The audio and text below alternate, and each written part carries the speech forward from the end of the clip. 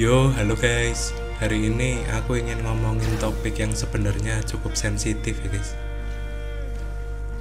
Yaitu topik Wuthering Wave itu sebenarnya lumayan tragis guys. Karena gini guys, Wuthering Wave ini kan sebenarnya Kuro itu niatnya itu kayak bikin versi upgradeannya dari Genshin itu loh guys. Karena itu Genshin kan pakai Unity guys di Wuthering itu dia pakainya Unreal Engine guys. Jadi kayak upgradeannya ya. Cuman sayangnya pada pra prakteknya guys. Wuthering Wave itu tidak optimal di beberapa device guys.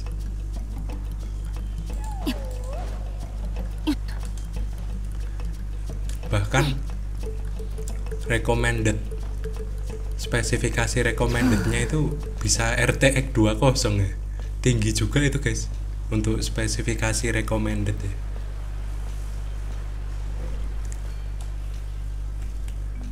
terus Wuthering Wave ini kan sebenarnya mau ngimprove dari Genshin.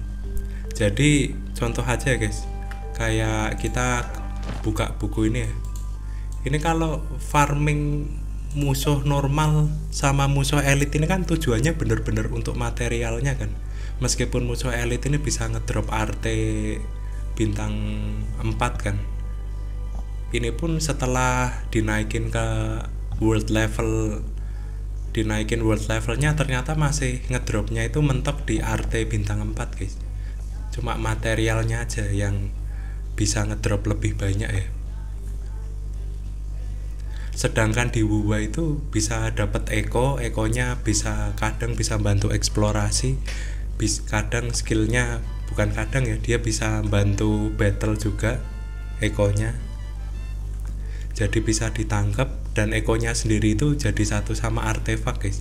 Bener-bener niatnya itu mengupgrade sistem open world Genshin yang kalau udah selesai explore itu kayak terasa kosong dan gabut guys. Itu udah berusaha di upgrade ya. Cuman ternyata sistem ekonya itu malah memberatkan untuk kasual guys. Karena di sini kan kayak arte itu kan ya memang ya grinding arte itu kalau yang akun dari nol itu cukup berat ya. Cuman arte di sini tuh secara waktu yang dikeluarkan untuk farming arte itu misal kayak sehari bikin empat kondens resin terus nyelesain satu domain ini wah kalau akunku mungkin akun-akun yang udah jadi cepet ya ini ya nyelesain satu kali domain ya. mungkin kayak anggap aja kayak setengah menit lah nah itu setengah menit dikali empat empat kali itu kan kurang lebih kayak dua menit kan. Nggak nggak ngitung yang loading screen loading screen gitu guys. Jadi waktu yang di meskipun mungkin kalau secara hari itu mungkin kayak satu karakter ya. Anggap aja akun kalian tuh dari nol guys. Ini nggak ngitung kayak gladiator kayak Wanderstroop yang dari yang dari ini ya. Ini kan sambil farming itu kan bisa dipakai juga ini gladiator sama Wanderstroop ini kan dua set dua set kayak bisa dipakai di banyak karakter kan. Bahkan kayak karakter-karakter terbaru pun kayak Neophyllid bisa pakai Wanderstroop terus Arlecchino bisa pakai gladiator. Kalau nggak salah Chlorinde ini juga bisa pakai ini guys. Aku kalau karakter yang aku nggak punya aku lupa-lupa gitu guys jadi udah kebantu dari sini tinggal diimprove dari domain artefak. Secara hari mungkin kayak berbulan mungkin anggap aja kayak satu karakter satu bulan lah. Dan itu kalau ngejar 4 set ya guys kalau mungkin dua set dua set ditempel pakai gladiator sama Wanderstroop mungkin dua minggu guys.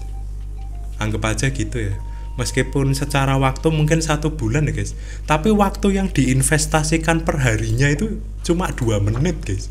Untuk farming domain harian ini ya. Sedangkan di Wuwa itu ya. Ya aku sadar ya kalau aku spending terus beli stamina ya mungkin aku bisa ngereset itu ya. Apa? Touched field itu ya guys. Nah tapi di gua itu apa ya?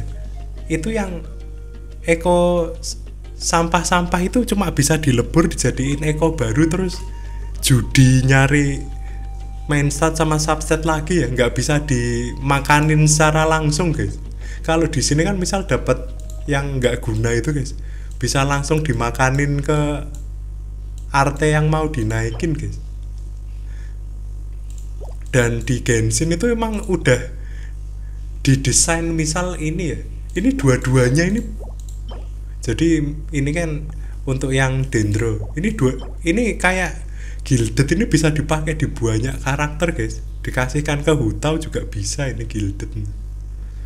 Ada domain-domain artefak yang stamina efisien banget ya. Kayak contoh Momiji itu dulu yang terkenal banget.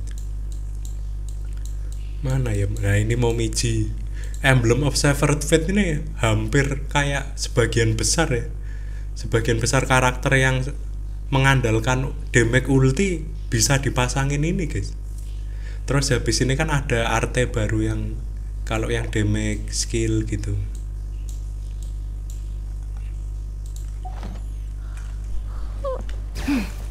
Terus secara desain karakter itu aku itu ngerasa Genshin itu apa ya kayak kurang karakter yang tinggi-tinggi kayak kurang nuansa mami-mami gitu loh guys kalau buat aku ya.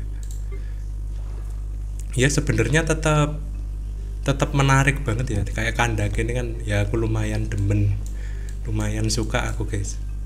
Nah terus kan ini yang the best the best waifu in Genshin Impact menurutku ya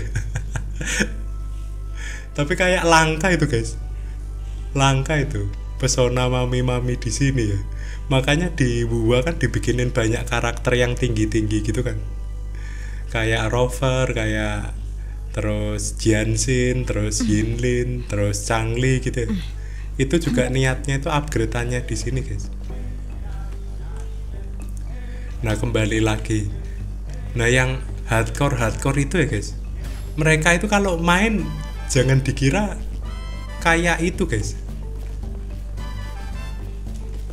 Kayak misal mungkin bagi kalian itu kayak main dua jam sehari itu menurut kalian mungkin udah udah try hard banget ya. Karena dua jam sehari itu bayangin guys kalau sebulan itu 60 jam loh guys 60 jam itu. Kalau game anime RPG yang kayak game Nippon Ichi Software terus uh, kayak game Disgaea itu loh guys. Itu udah tamat dua seri guys karena satunya itu kurang lebih kayak 30 jaman ya.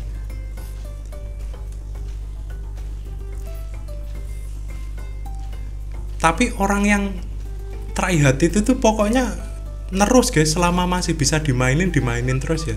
Bahkan mereka itu kalau dunianya udah satu map habis di farming ya dia itu masih nyari temen di discord atau pokoknya siapa aja lah. Terus dia itu guys izin izin itu ya izin farming ya. Aku nggak tahu ini mau ke mana ya. Ya gini gini nih guys. Genshin kocak ya.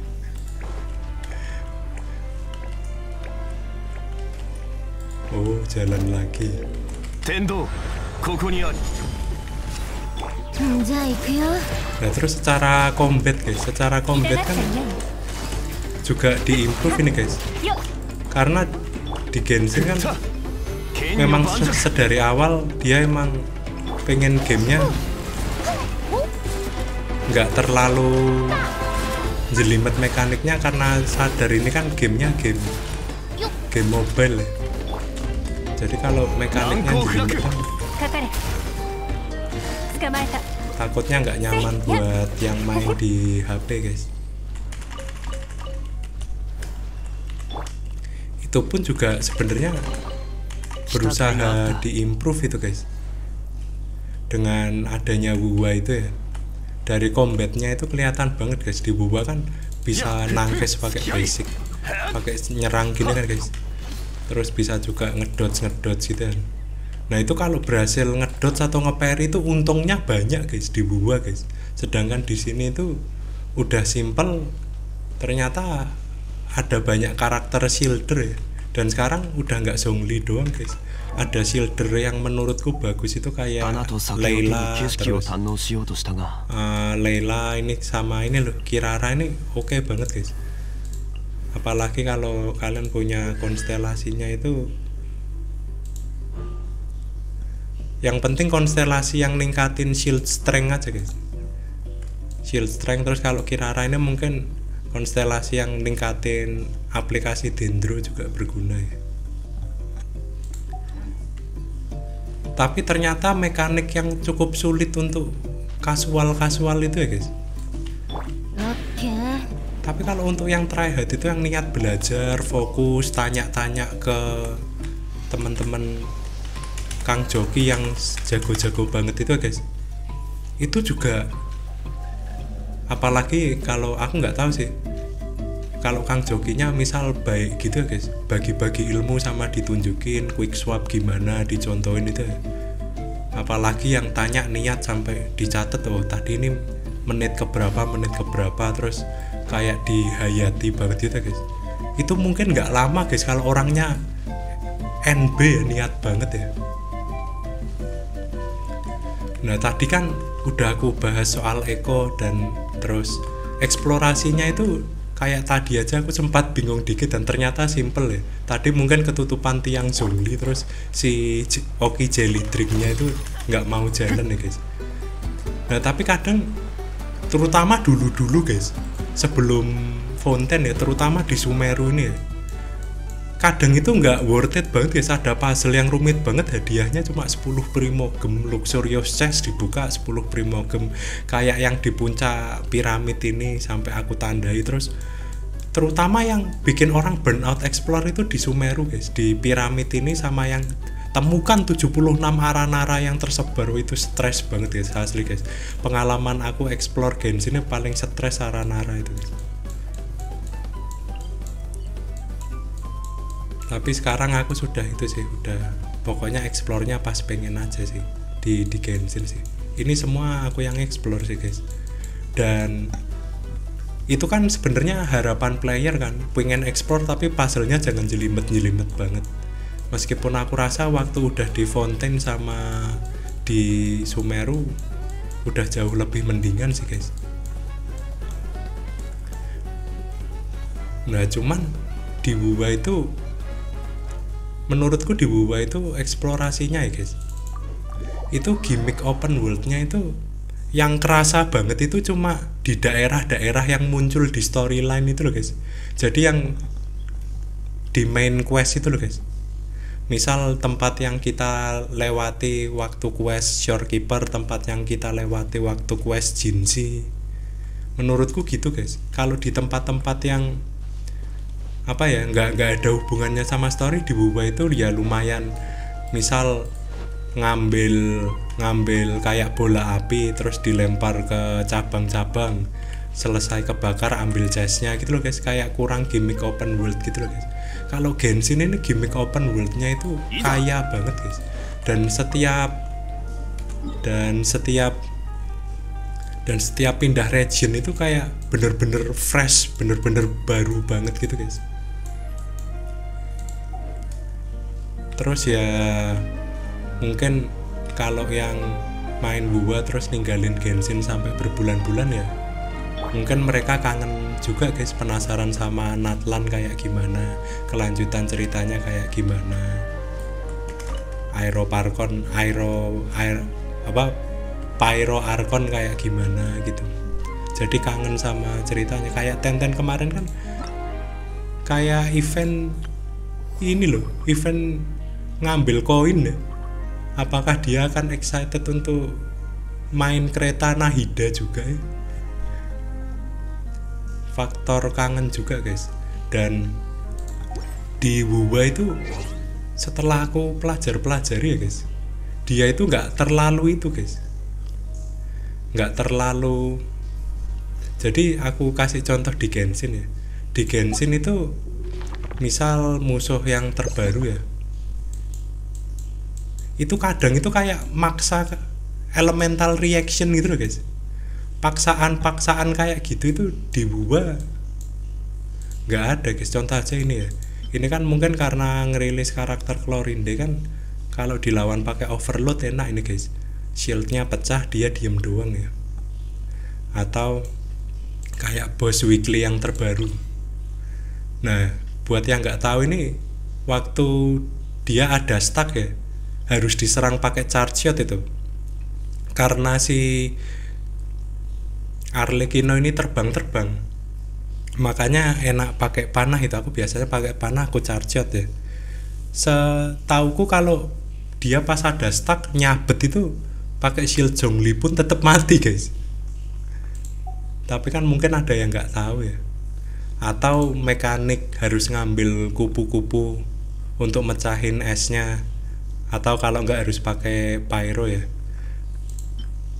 Terus ya meskipun secara mekanik simple dan enak dimainin di HP itu cuman ada yang itu guys ada kayak gimmick-gimmick baru terus gitu. Ya nah ini musuh yang nyedot energi.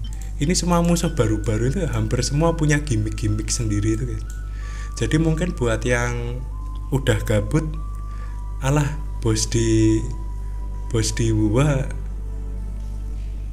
paling nyabet nyabet terus ngedot terus kayak nggak nggak maksa harus pakai karakter ter- tertentu ya. Yang sebenarnya itu bagus guys di Wuwa guys. Jadi nggak maksa karena untuk alasan elemental reaction ya. Ya tapi justru mungkin untuk orang-orang yang udah gabut di Wuwa wah ngapain itu main Wuwa apalagi kalau streamer-streamer gitu kan. Biasa streamer luar kan nggak ngejoki guys. Nah itu terus mereka itu guys gabut banget kadang malah ngegosipin konten kreator lain karena saking gabutnya atau main game gak jelas. Nah terus mereka mikir itu aku udah gabut di Wuwa kenapa nggak balik Genshin aja terus? Sama-sama sama-sama buat aku udah kelar semua udah gampang semua malah mending di Genshin itu musuhnya variasi open worldnya variasi. Menurutku Kuro itu cita-citanya sebenarnya bagus banget sih tapi menurutku menurutku pribadi ya guys ini sebagai penutup ini menurutku pribadi. Kuro itu terus improve guys ngambilin yang bagus-bagus dari game lain dipelajari terus kekurangan gamenya sendiri diimprove ya meskipun apa ya meskipun mungkin kalau sekarang omonganku ini kayak omong kosong ya. Tapi aku nggak kaget itu guys nanti kalau Wuthering Wave itu setara sama Genshin ya nah sekarang aja buktinya di Genshin ini yang karakter bisa berubah jadi monster kan sebenarnya fitur Wuwa guys fitur Echo ya. Ternyata di sini diambil juga ya. Ini kan Kinage jadi ada karakter Natlan itu kan yang bisa skillnya monster yang ada di eksplorasinya Natlan itu kan. Ini kayak skillnya Kinage yang ini Mualani yang ini ngebor ini punyanya Kacina itu ya. Jadi jatuhnya itu malah itu guys. Malah memang apa ya kehadiran Wuwa ini nge-improve Genshin juga ya. Apalagi kalau kalian yang main Genshin ya ini pendapatan Primo. Aku kan nggak full nguli ya guys. Pendapatan Primo itu lumayan meningkat pesat coy. Aku aja kemarin hampir dapet. Aku itu kemarin hampir dapet itu ya C2 Silonen ya. Sayangnya PT 50 50-an itu red on nih guys. Karena terakhir kalah red off dapat Mona ya. Itu ya berkat Genshin juga guys ada yang bilang fat pointnya itu baru kereset waktu ganti benua tapi dulu waktu aku membaca itu seingatku tiap patch ngereset guys. Makanya aku nah ini ya berarti aku 55 lah PT 55 belum dapet ya hati-hati guys sudah red on. Kalau salah pencet Nahida aku udah C6 Huta udah C2 ya. Jadi nunggu Mafuika kalau enggak Silonen Riran kristalnya deres guys makanya aku eksplornya itu nunggu versi selanjutnya guys. Ya nanti aku lihat sendiri aja lah ini fat point yang ngeriset ini pun karena dari event juga dapat fat point ya. Fat fat pointku kayak nggak habis-habis ini guys. coba berapa hari lagi sih? 14 hari. 14 hari kelihatannya kan satu hari butuh 4 berarti 64 64 tapi dari ngerjain event-event ini juga ketambahan guys dan sekarang kan Genshin cepet banget guys. Cepet banget ya ngabisin stamina terus sekaligus daily. Jadi gitu aja guys. Kenapa kok menurutku tragis juga ya? Si Wuwa ini ya berusaha nge-improve dari Genshin tapi akhirnya ya ada beberapa yang posisi sekarang emang masih belum berhasil ya. Cuman ya menurutku kalau pengen balik Genshin ya tinggal balik aja nggak sih? Nggak usah kayak something banget gitu pengen main main aja itu. Lagi pula cuma game. Jadi thank you guys. Kalian mau komen silahkan komen di kolom komentar. Like comment dan subscribe. Bye bye guys